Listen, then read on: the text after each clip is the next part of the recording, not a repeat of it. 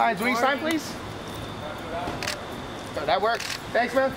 You guys are looking great out there.